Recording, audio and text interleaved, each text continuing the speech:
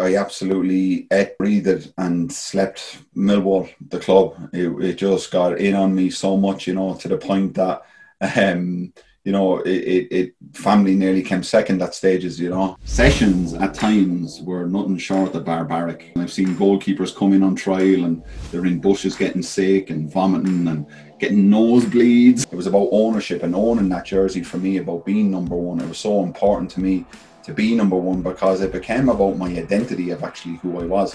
It actually reinforced my identity of, of, of David Forde. It became an absolute part of me, it became totally ingrained in me. So I just looked him in the eyes and I gave him the old stare. And I said, Bobby, I'm going to breathe in.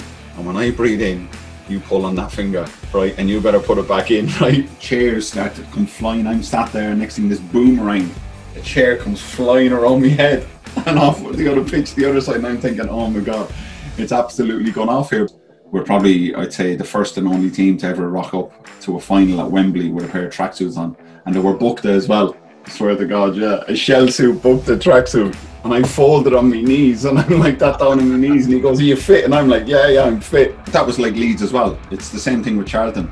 I always knew playing Charlton, we're like, we're going to beat Charlton. And even when we were struggling, even when we were bottom of the league or even when we'd no confidence, we'd always beat Charlton. When the Den's a full house, it's such a special place you know, and, and one of my fondest memories of Millwall is that Monks chant. To hear that chant and to hear 17 and a half thousand people chant that is some feeling that just goes absolutely through me.